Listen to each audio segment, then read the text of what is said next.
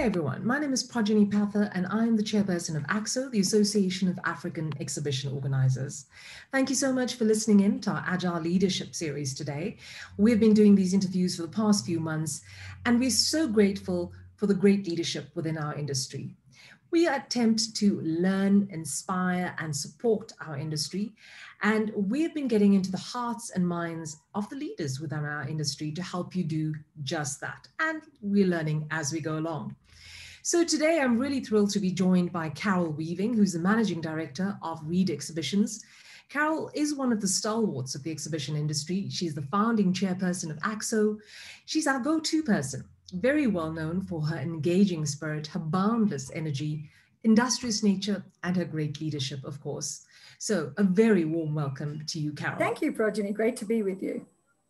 Now, I think there's been so much happening, and you've been working exceptionally hard along with the rest of us. We all teamed up and we've been together. Um, but whilst we're fighting this battle, there's just been a lot going, obviously, going on in the background, obviously, uh, at Reed Exhibitions. So, what would you say your greatest challenge has been as Reed Exhibitions during this crisis? Yeah, I mean, I think it's like most sort of exhibition event organizers across the, the country, of course, and across the world, actually. It's the planning or, or the inability to plan properly. So I think whether you're running a trade show, a consumer show, it's, it's incredibly difficult because there's no real end in sight in terms of the pandemic. It's very difficult to arrange your dates. You know, when are you going to be running an event? Um, when are you able to run an event in terms of the Disaster Act? Um, and at the moment, as we know, it's probably going to get extended again till the 15th of December. And then, you know, what does that mean then for shows in the first and second quarter of next year? So I think it's definitely about planning. It's not really understanding, you know, when we're going to get back on stream, when we're allowed. And then also, of course, being able to run successful events where I think both exhibitors and visitors have full confidence in your event and in your project so that they will participate. So it really is that the, the fear of the unknown, of course. But of course, there's always there's always upsides and there's always opportunities. Exactly. And as the scenario has changed through the year, I mean, you know, when we first sat in March this year, it was we were all making predictions about when we'd be able to open. And eventually, you know, events got moved and moved and moved, um, and calendars changed. And how have you been able to handle scenario planning in your organization? Yeah, I mean, this is definitely the most difficult thing. Again, because of certain events that maybe only happen once every two years, the biannual events. Um, you know, there's so many factors you've got to take into consideration. So you have to do your sentiment surveys with your exhibitors, your visitors, your stakeholders, your sponsors. You know, what date works for them? What is the competitive landscape? What other events are happening during the, the dates that you're even looking to move into? So it's really, really difficult. But at the same time, you know, what we did was uh, when the announcement happened, we were actually in the middle of build-up of one of our shows. So we literally had to just break everything down, bring everybody back. I mean, my poor team were devastated. Um, but what we, we really did then, we made a decision and we said, we really don't think we're going to get back on track for the whole of 2020. We don't think there's enough uh, lead time to convince exhibitors, especially with all of the unknown and the lockdowns and what have you. So we moved we moved all of our events by I think May this year to 2021. Um, in fact, what we did, we just said we're not running the 2020 edition, but we'll see you next year at the 21 event. Um, so I think in one way that at least alleviated the fact that you're trying to postpone or you don't know what you're doing for 2020. But obviously now the pandemic's still in play, we still have the Disaster Act in play. So now we're saying, okay, so what happens in 2021? Um, you know, we've got a couple of events in Q1 and Q2 that obviously we're now we're looking at um, and we're engaging with our customers. And we really do these um, customer mindset barometer surveys. And they are fantastic because they really get under the skin of how your exhibitors are feeling, how your visitors are feeling. Do they want to need an event? Because ultimately, what we cannot do is just run an event for the sake of running an event. You've got to you've got to run an event because it's what your customer needs and wants, and you have to understand what they need and want. And so, you know, there's a lot of uh, research that you have to do. There's a lot of conversations. Um, and it's also quite difficult if you're skipping a whole year of events. How do you keep in contact with your customers? How do you keep connected? And that's equally as important. Well, everybody's going through their own, you know, their own drama, whether it's travel cuts, whether it's marketing budget cuts, whether it's um, restructuring of businesses. You know, a lot of people have had to restructure. Um, you know, a lot of retrenchments have happened, certainly in our industry. So it's really, you've got to navigate all of the above and it's, it, it becomes a challenge, yeah. definitely a big challenge, of course. But I know from seeing uh, all the activity that's been happening in, in, in your offices, I think your teams have still been super busy. Um, so I'm sure they've astounded you in many ways. And, and what would you say has been uh, the most proud moment for you during these past six months, watching your team and them doing lots? So they've still been doing so many activations. Yeah, we really have. You know, when you go through something like this, it hits you personally and professionally. So your guys are already, you know, your staff's already feeling a bit like, oh, this is tough. You know, it could be their husband, wife, uh, friends are, are being made redundant, whatever the case may be. And you know what? It really brings out the best in people, I believe. And it certainly has here. My guys have been amazing. Um, and, you know, as much as I'm sort of born optimist and I'll just keep going regardless of what comes in my way, you know, it's quite hard to motivate people during a pandemic like this.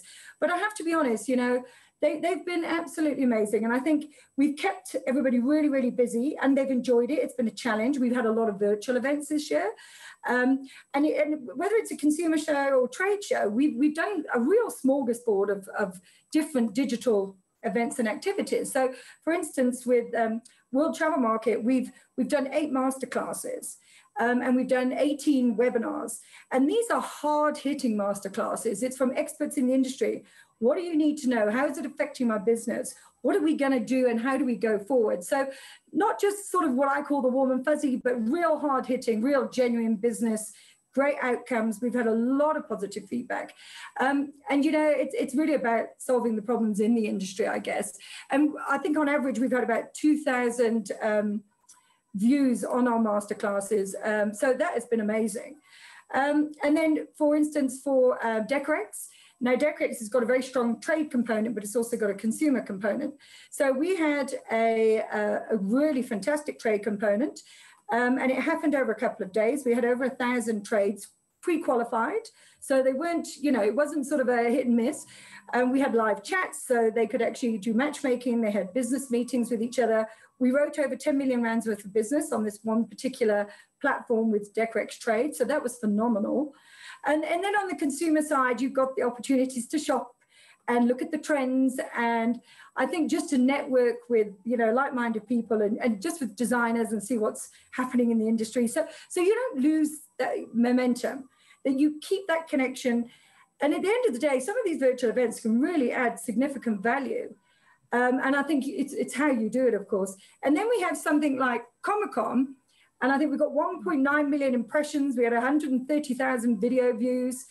Um, I, I, mean, that was just phenomenal. And we had over 100 hours of content. We had international wow. celebrities, all from their Zoom or their virtual lounge or whatever the case may be. So, yeah, we really kept really, really busy with all of our events and just to keep that connection with our customers, really, really important. Yeah, and it keeps, it allows your customers to see that you're still there, that you're still working hard to get them the business that you would normally have uh, within restricted circumstances. And I think that will um, hold you in high stead in the year ahead. I think that is really, really important. Like you said, it's all about building confidence. But in the same vein, we've been all trying to go virtual and go online, and we all had our preconceptions about it. Now that you've done it, what what are the, the pitfalls of going virtual? You know, I think, I mean, first of all, you've got to do this properly. You've got to plan it properly. You've got to get the right supplier. You've got to, you really got to shop around for the right platform and to say, okay, is that going to offer what my customers need? So again, you've got to start with your research and your survey. You know, the one big challenge right now is until such time as all of these virtual events have really proven themselves, you're not going to get the same amount of exhibitors or sponsors spending the same amount of money on a virtual event as they do on a live event. However, you know, if you if you market it properly and if you manage it properly and you ensure that you're getting genuine business meetings, genuine business transactions, and you're getting the right content, you know, the opportunity to grow your audience, to grow your communities is actually phenomenal. And I think once you know, I can see even in some of the sentiment surveys, people are still feeling a little bit more confident now in the virtual events. It's taken them a while and they will start investing, but it's all about getting the return. So for me, there's no point running an event and trying to be a one hit wonder. It's got to be sustainable. It's got to be complementary to what you're already doing. And it needs to be offering something different to your live event. Is that a 365 sort of touch point? Is it continuous sort of I suppose, exposure in that particular industry sector or community. So for me, it's really got to be a little bit of both. And I think the word hybrid, we hear it all the time, is, is really the way to go because that way you can keep in touch with the audiences. You can, I think, give benefit to your exhibitors and your sponsors and stakeholders in terms of return on investment and having a much more prolonged and a much larger reach when it comes to you know that particular industry sector. So yeah you've got to be careful but you've got to you've got to do it the right way. You've got to plan it properly. You've got to test before you can think about going live. Um, i've seen a lot of technical glitches that you have to be so careful because that can really sort of bite you. Um, and of course in south africa you know with our electricity and our power supply is a little bit uh, you know, unstable sometimes. So it's all of those sort of things. Those are the practical issues. But at the end of the day, you can really derive a lot of benefit. But is it going to be as commercially viable as a live event? I'm afraid not right now. Is it a good supplementary, complementary element to your live event? Absolutely. So it shouldn't be underestimated, but at the same time, don't overestimate it. And I think make sure you're giving the right return to your audiences. And like you said, you know, um, initially you would think that this is a one hit wonder, but it shouldn't be a one hit wonder. And it's something that we're going to have to invest in um, as businesses. So, do you think, or, what should I say, is what role do you think that hybrid and digital formatted events will play down the line when face to face comes back into action? Well, I think even with face to face coming back into action, so let's assume we have our first event in April next year.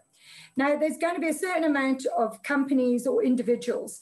Um, certainly, international delegates or buyers, they can't come here for the event because they could have COVID restrictions in their point of um, departure.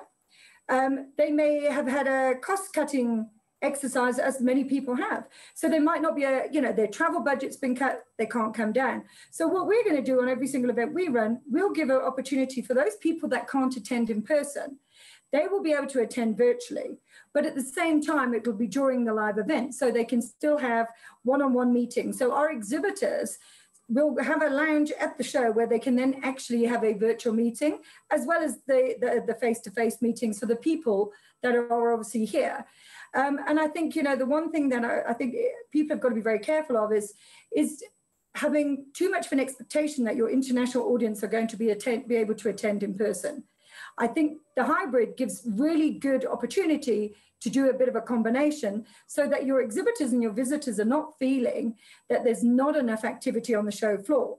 So what you don't want is your exhibitors sitting there saying, well, I only got 50% of the, the turnout at the show.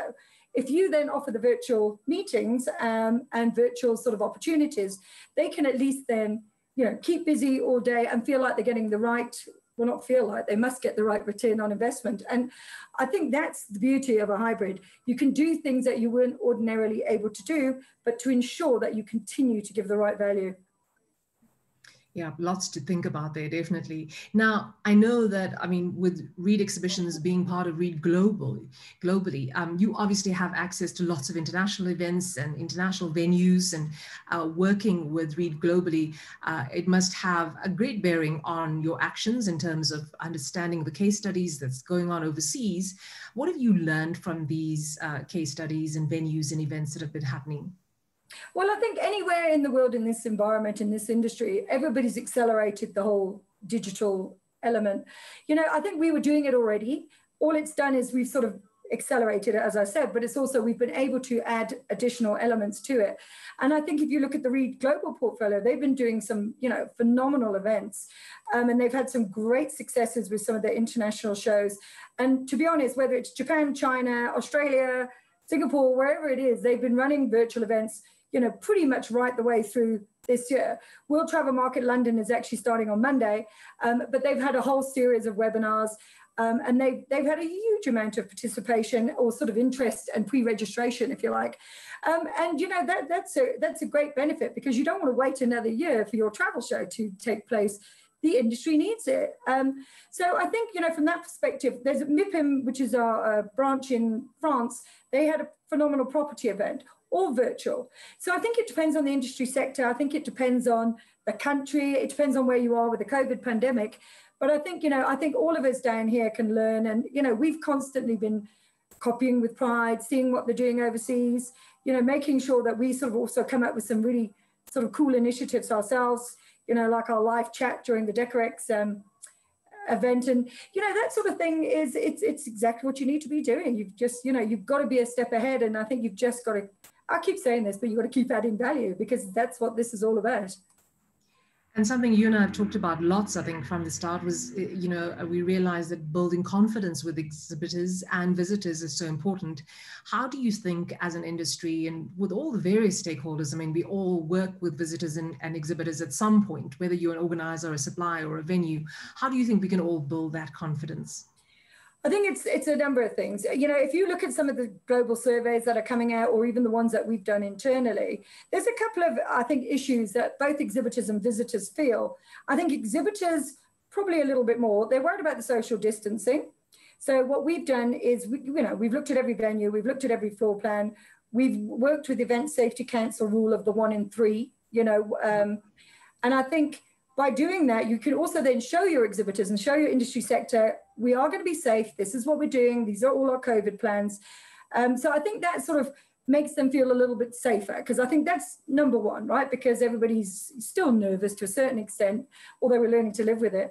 The second thing is, you know, are we going to get enough visitors? If we exhibit at your show, how do we know you're going to get enough exhibitors? That is why our hybrid model talks to that. So we have X amount of people that will come to the show, obviously um, live.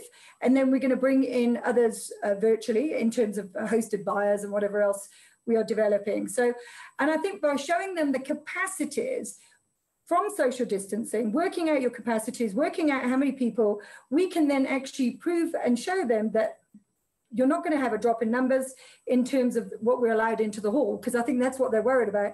So we've done all of these scenarios, we've done all of these capacity um, floor plan so that they go, oh, okay, I didn't realize you could get that many people over that period of time. I think what people think is you have X amount of people coming to a show. What they're not realizing, some people could stay all day, but some people are in and out for two hours.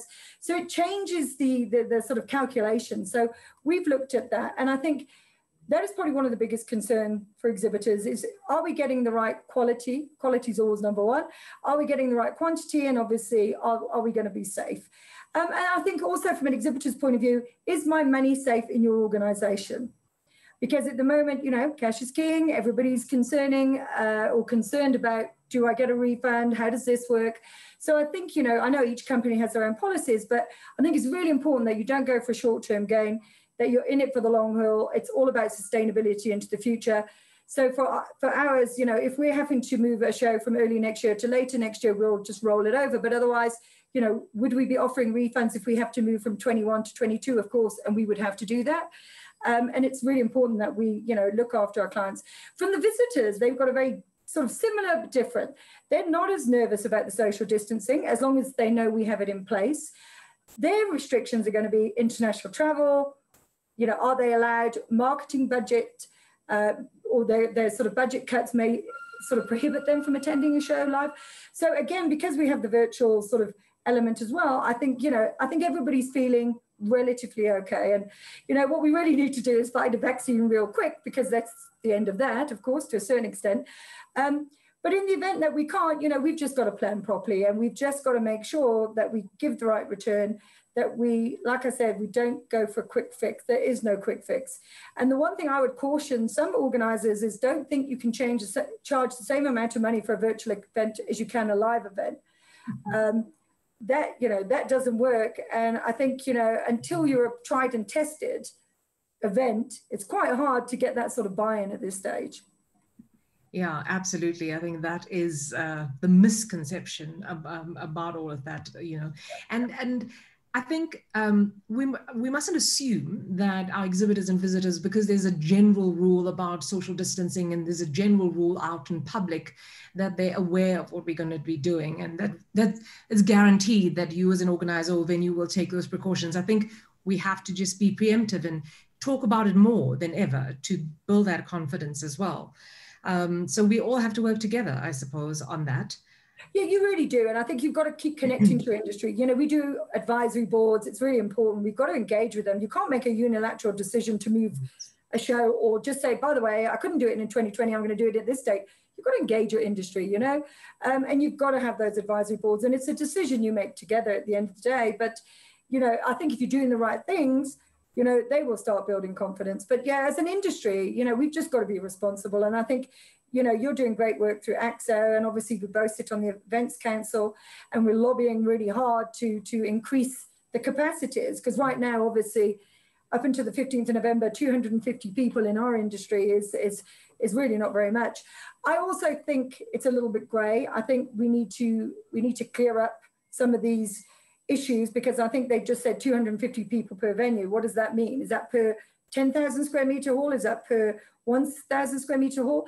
So I think we need to be a little bit clearer. We've got to get a lot more clarity. We've got to work closely with government. And I think from our perspective, the economic impact on trade shows is huge. I remember when we did this, uh, the AAXO research, albeit a few years ago, um, I mean, you know, with direct and the amount of deals that are concluded at a, a exhibition, and this was across our entire industry, it was somewhere near um, 54 billion. And I think the tourism impact was 24 billion. So it just goes to show how really, really important um, that, you know, these exhibitions, these trade shows are. Uh, obviously, the consumer events are a little bit di different because it's some of it's retail, some of it's obviously a combination possibly. Um, but it's really important, and we need to talk to the Department of Trade and Industry, and we really need to make to get them on board to prove to them that we can actually open our shows safely, and we really can. And I think you know we're all doing it. We've all done it. We've all got our long COVID plans and our diagrams and our floor plans and our scenarios. And and you know what? It's really just getting government to sort of come along with us and say, yeah, okay, I get it, I understand. So we've got a bit of work to do, but I'm sure we'll get there. I'm glad I can see that you're still so positive and still so motivated. So how do you manage to keep that balance through all of this? you know, sometimes I really don't know, but it, I think a nice glass of South African wine is always helpful. But joking aside, you know, at the end of the day, you have to be. We've got to, we, you know, we're carrying on. Of course, we're going to carry on. I mean, life goes on. We have to go on. Our industry, it's very, it's a very important industry sector, very underrated in terms of the economic impact. Um, and honestly, the amount of business it generates for the country. Um, so, and at the end of the day, I think the hardest thing right now is probably motivating your team, getting them fired up, keeping them really busy. Um, you know, I think we thought when all the shows were cancelled, oh gosh, you know, it's going to be really quiet. It's ridiculous. I don't even know why anybody gave that a thought. Um, you know, we were we were lucky in one way because we had communicable disease insurance, but obviously, you know, it takes a while to sort of filter through. It's a very long process. Um, but that in itself is quite a lot of work. But I think planning all our virtual events, getting all of our plans up and running for next year, you know, it's actually been quite exciting. It's been a challenge. You know, a lot of my guys are learning so much about the digital world, and it's great. It's accelerated it. They've had the time to at least focus on those uh, those digital projects. So yeah, in that regard, it's really good. And we just got to keep them motivated. Absolutely. And, and what's wonderful, I think, about this whole thing is that forcing our teams to accelerate their, their, their, their growth in this digital space um, allows us a different avenue uh, to monetize next year. Uh, oh, you know, with these avenues were previously not looked at, and now uh, our clients are able to see their merit.